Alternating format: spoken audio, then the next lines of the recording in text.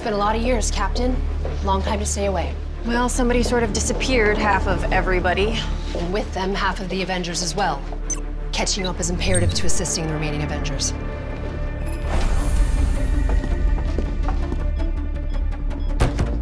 Okay, a lot has happened and we don't have much time, so hang tight.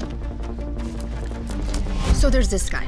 His name's Iron Man, he flies around shooting lasers. There's a Hulk and a god who ends up being best friends with a rabbit. What? Captain America is still alive? Sweet! Black Widow killing it. Yes! Avengers! So they're fighting this purple guy over the universe, and he won, and now you're here. anyway, that's just part of what you missed. Let's move on to food.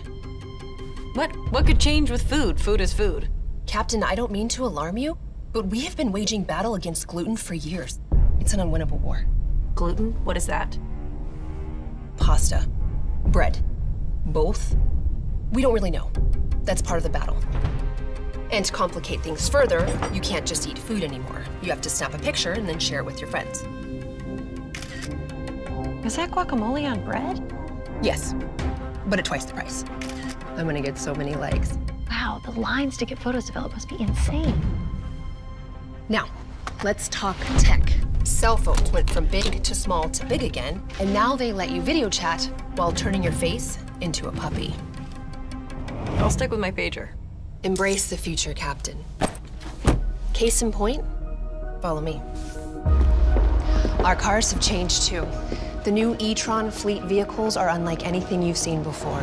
All electric powered, nearly instant torque. Can it fly? With the right driver, just about. All it needs is a quick charge. Not anymore. Buckle up, Goose. Aw, Where'd the cat come from? I wouldn't do that.